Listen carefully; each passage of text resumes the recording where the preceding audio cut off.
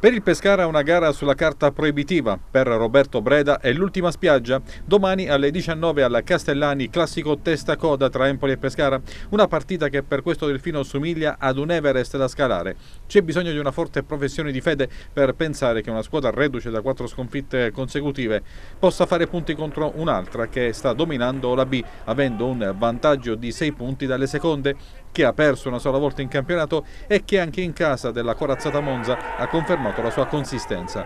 Breda ha bisogno di un miracolo per salvare la panchina. La dirigenza bianca-azzurra ha anche pensato all'esonero dopo il match con la Regina, partita che doveva far iniziare la riscossa ma che si è rivelata l'ennesima prova senza nervo e senza grinta, un trend che neanche i nuovi hanno invertito un po' i pochi giorni tra una gara e l'altra, un po' la complessità della partita, hanno consigliato di aspettare. A seguito del mercato, Breda aveva cercato di cambiare assetto per mettere un giocatore in più in attacco e uno in meno in difesa, ma la mezza partita con la Salernitana e le due con Chievo e Regina hanno dato risposte negative. E allora dietro fronte per domani sera è pronto il ritorno al 3-5-2. E allora nel trio di difesa si rivedrà Scognamiglio con Bocchetti e Gut, non è ancora in condizioni di giocare 90 minuti Drudi, Balzano preferito a Belanova come quinto di destra, a sinistra Masciangelo e avanti rispetto a Anzita. L'ex Valdifiori di nuovo titolare, mezzeali Tabanelli e Rigoni, quest'ultimo in vantaggio su Busellato, a guidare l'attacco sarà Seter, sostenuto da Macin. Breda è pronto a dare questa importante chance al fantasista guineano nonostante alcuni comportamenti sopra le righe e la multa per motivi disciplinari. Partirà dalla panchina Odgard, tornano in lista convocati Galano, Bokic e Fernandez, mancheranno De Sena, squalificato, Riccardi, Capone e gli indisponibili Memusciai e Giannetti. L'ex Salernitana si è sottoposto a ecografia che ha evidenziato un affaticamento muscolare.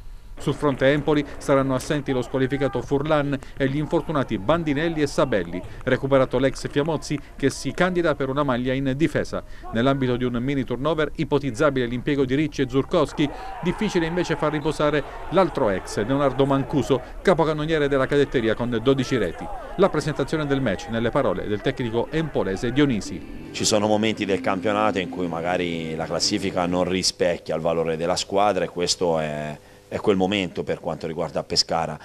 Sicuro che ha delle difficoltà, più o meno rispetto alla partita precedente, non lo so, poi dipenderà anche da come la interpreteremo, da, da, come, da, come, risponderemo colpo su colpo al Pescara che sicuramente, come ho detto prima, verrà qua per ottenere, per ottenere un risultato positivo a tutti i costi e questo non deve sicuramente spaventarci, deve deve motivarci, sapendo che sarà una partita diversa dalla precedente, ma allo stesso, allo stesso tempo difficile come lo era quella, quella, precedente col Monza, difficoltà diverse perché sono due squadre sicuramente con, con valori diversi in questo momento, ma anche il Pescara ha dei valori.